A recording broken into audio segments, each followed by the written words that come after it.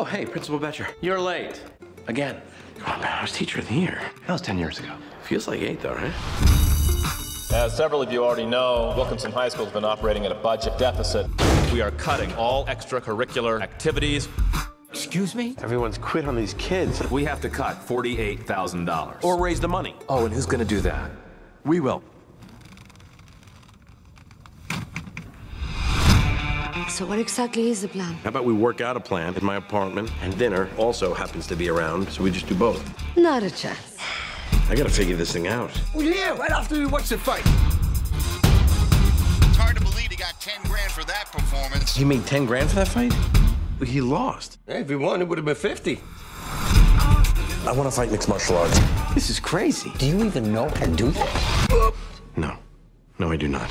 But I was a really good wrestler in college. I think I can do this. Let's see what you got. Hi, which guy am I fighting? Both. Come on, I can't fight two guys. I can't train a 42 year old biology teacher. You want to be a fighter? Start in the cage. Is that a chicken? This is bottom level MMA.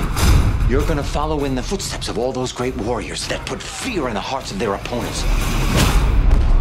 You dislocated your shoulder. You gotta help me. You ready? I always wanted to try this. Try this. What do you mean, try? You never done this?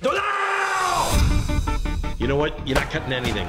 That's the first installment right there. You're getting beat up in your bathing suit. You are embarrassing this school. This wasn't plan A, but I don't know what else to do. If you don't make an effort, nothing's ever gonna change. Inspiring your students, I see. All right, everybody, let's get our story straight. Uh, Derek did it. What are you teaching these kids if you go through with it? What am I teaching them if I don't?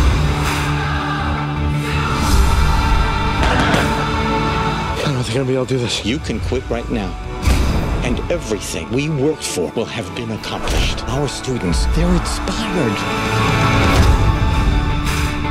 What if I dunk this ball in that hoop, then you have dinner with me at my house? Deal. No, no, that's cheating. Dreams are about to come true. That go in?